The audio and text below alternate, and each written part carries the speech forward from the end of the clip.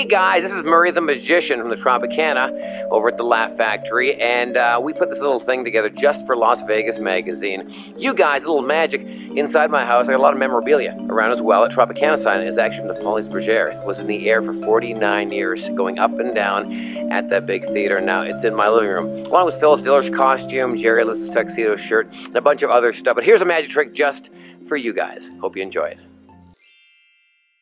it.